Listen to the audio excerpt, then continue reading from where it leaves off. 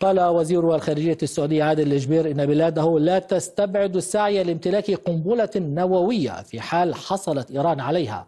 وحذر الجبير في تصريح لوكالة رويترز من استغلال إيران لمواردها الإضافية بعد رفع العقوبات عنها لتمويل أنشطة معادية كما قال. هذا يتوقف على إلى أين ستوجه هذه الأموال. إذا كانت ستذهب لدعم الأنشطة الشريرة للنظام الإيراني فسيكون هذا سلبيا وسيؤدي إلى انتكاسة.